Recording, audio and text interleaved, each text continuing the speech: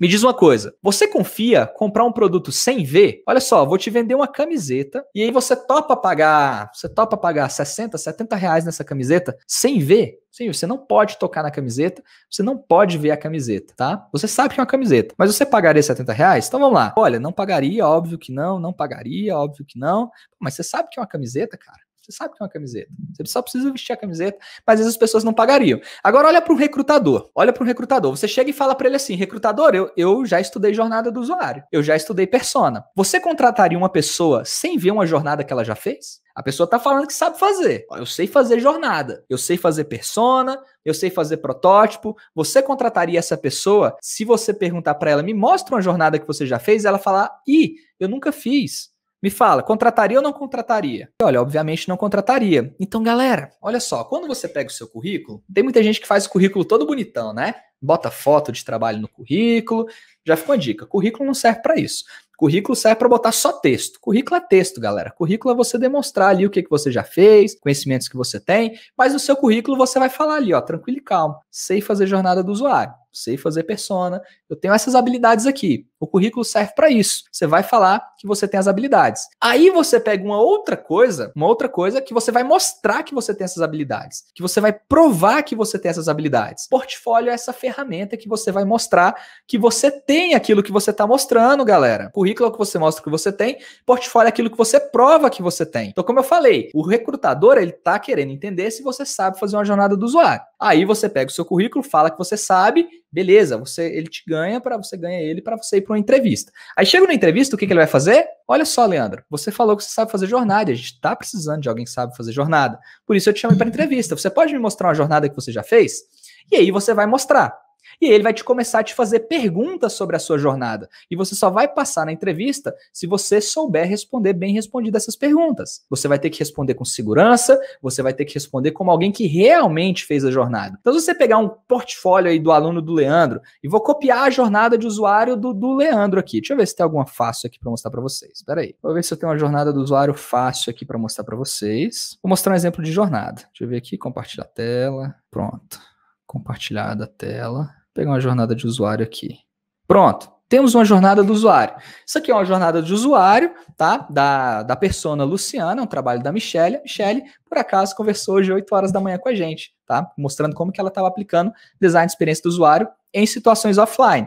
Então aqui, olha, o recrutador ele vai chegar e falar: Michele, ele, ele não está interessado que a Michelle leia a jornada para ele, não. Quando você for para uma entrevista, o recrutador vai falar assim: olha, que legal que você fez essa jornada. Agora me explica aqui. Por que que nesse momento aqui você sentiu que o usuário ele estava aqui num momento de irritação? Se você não tiver feito essa jornada, você não tiver entrevistado os usuários para entregar essa jornada, você não vai saber responder essa pergunta. Então não adianta vir aqui no case dela, não adianta vir no case da Michelle, copiar e colar essa jornada e escrever coisas aqui que você está imaginando para outro cenário. Porque a primeira coisa que o recrutador vai perguntar para você é de onde você tirou essa informação.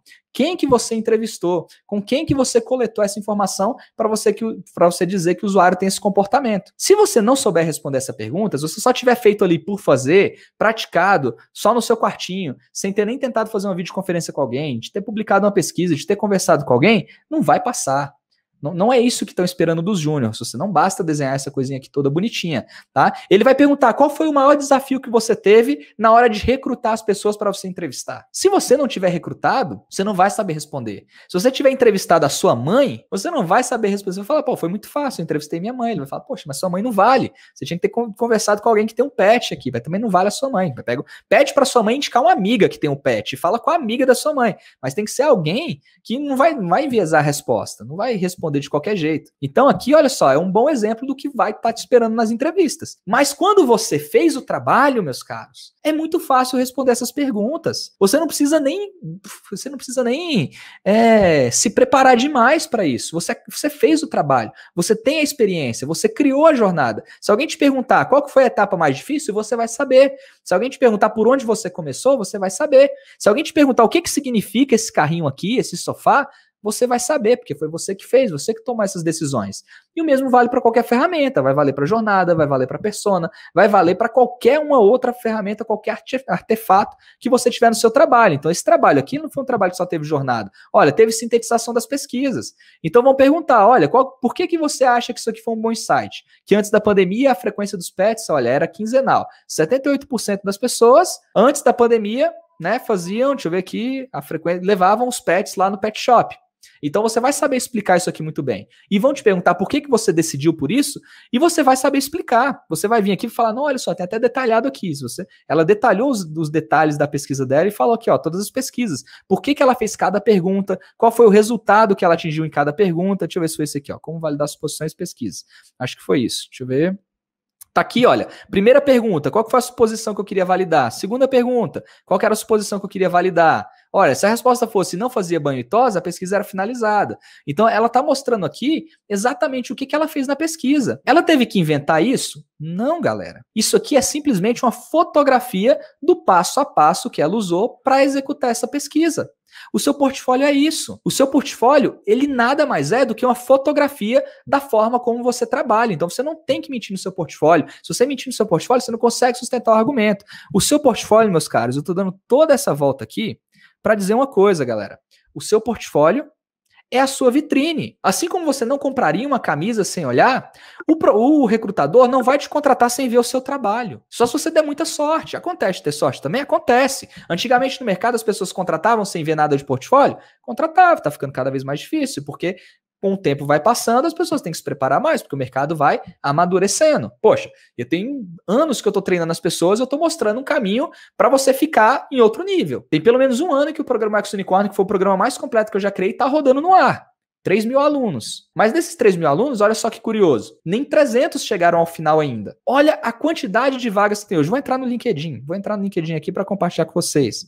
Vamos lá. LinkedIn. A gente tem muito mais pessoas que conquistaram vagas do que pessoas que já tiraram o certificado do programa Max Unicórnio.